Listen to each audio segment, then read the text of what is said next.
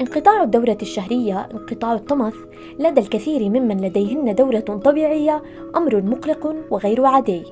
أنواع انقطاع الطمث الأولى أي عدم وجود الحيض منذ البداية حتى في عمر ومرحلة النمو عندما يكون من المتوقع حدوثه. الثانوي. عندما ينقطع ثلاث مرات متتالية لدى امرأة طبيعية من حيث الدورة الشهرية. أسباب انقطاع الطمث السبب الأكثر شيوعًا هو الحمل. يأخذ تقييم الأسباب في عين الاعتبار الأعضاء المسؤولة عن الدورة ومنها المبيض والرحم وتحت المهاد والغدة النخامية في الدماغ. ويتضمن هذا النوع من التقييم اختبارات الدم وتصوير الأعضاء التناسلية والدماغ إذا لزم الأمر.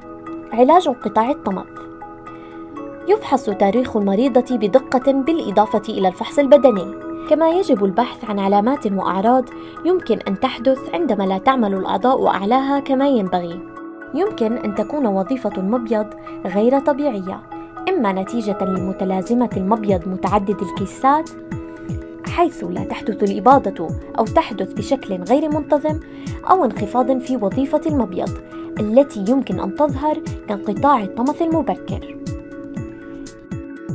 علاج انقطاع الطمث الثانوي يعتمد على السبب. وإذا كان انقطاع الطمث مرتبطا بمستويات منخفضة من الأستروجين فالأمر المقلق هو أن المرأة قد تكون أكثر عرضة لخطر ترقق العظام والكسور. لذلك يتم وصف مكملات الأستروجين مع موانع الحمل الفموية.